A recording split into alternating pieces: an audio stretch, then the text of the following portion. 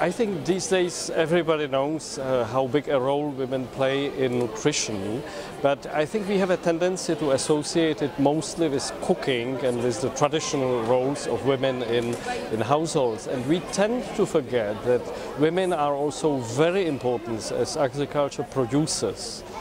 They do a lot of agricultural work, they are key in the production of food and they play an increasingly important role also in the post-production stage in various types of agriculture value chains.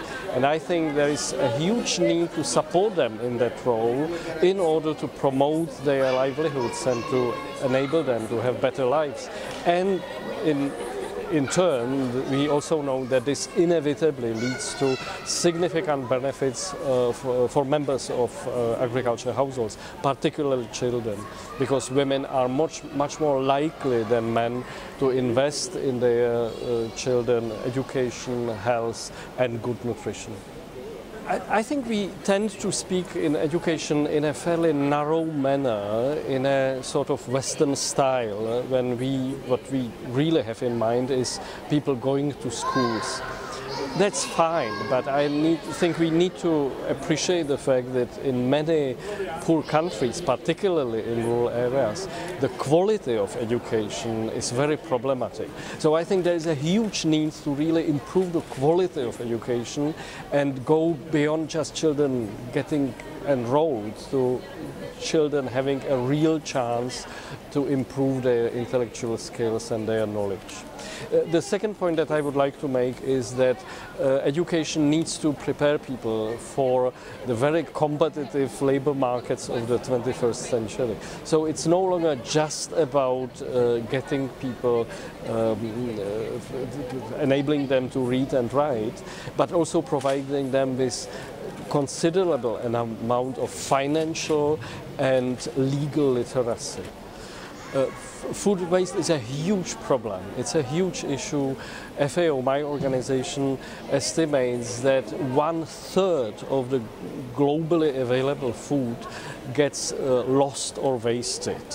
And I think we have a tendency to think about it in terms of the food that is uh, getting rotten in our fridges or that is, uh, that is wasted in the supermarket shelf. But actually, a big part of uh, food losses is caused by gender inequalities in the agriculture sector, namely by rural farmers, female farmers, uh, reduced or limited access to improved technologies, improved tools, to uh, infrastructure such as transportation and storage. But we also know that this can be fixed and when rural women are helped to be able to get their produce to the local markets on time, everybody benefits. They get more for their production because they can sell more and the local food security is improved because more food becomes available for local consumption. Uh, I think uh, Women for Expo is a very excited project. Uh, in my view, it's uh, beautiful because it brings together uh, a variety of stakeholders and people with different professional backgrounds and professional affiliations. And I think together we can do a lot for the benefit of rural women and girls and rural societies more generally.